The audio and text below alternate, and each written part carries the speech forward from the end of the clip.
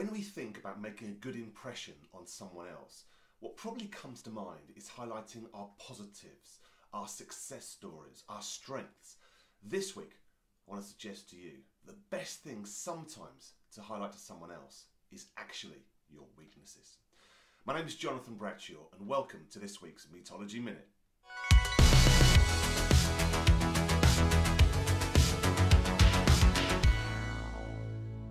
This week I want to explore something that psychologists at Harvard University discovered in the 1960s and named the pratfall effect.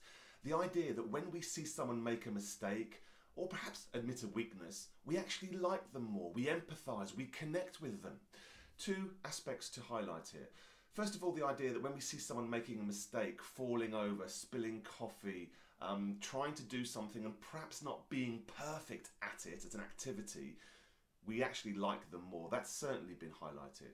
Um, someone trips over, someone forgets their lines on a stage. I mean, have you ever been there? You sort of feel for them, you feel empathy for them, you want them to succeed. Likability um, in that situation can actually be increased. I'm not saying make a mistake on purpose, but when you do, it's not necessarily a bad thing.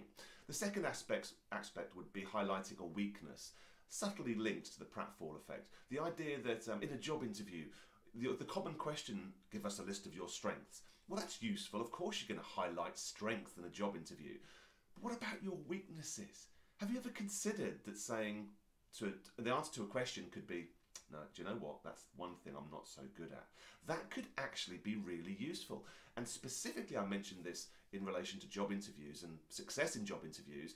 Um, probably about a year ago, a specific study highlighted that being authentic, not being perfect, not saying, well, I can do all of this, is probably the way to go.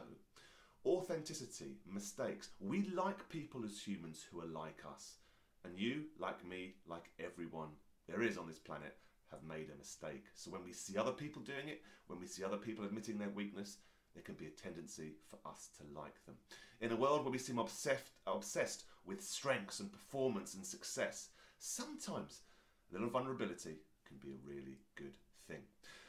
I'll be back in a week's time with some more Meetology, the fascinating psychology powering exceptional people skills. See you in a week's time. Until then, take care. Bye bye.